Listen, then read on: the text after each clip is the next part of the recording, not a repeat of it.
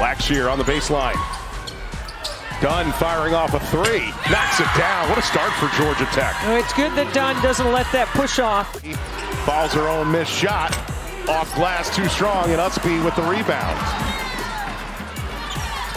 Ustby looking to go coast to coast. From defense to offense for the junior star.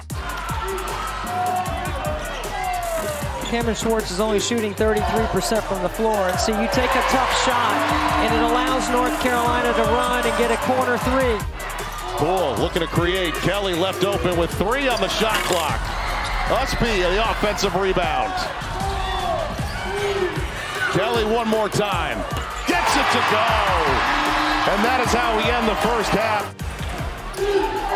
3-2 zone by the heels.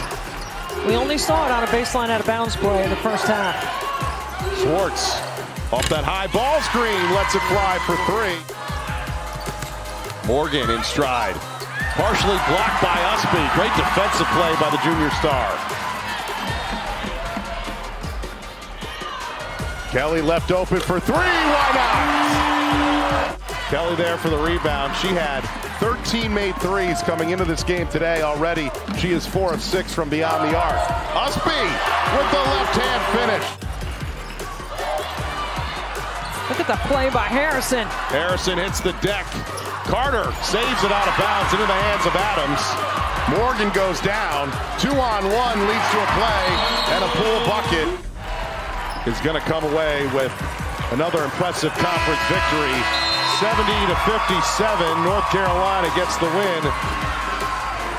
And another impressive performance for Courtney Banghart and company.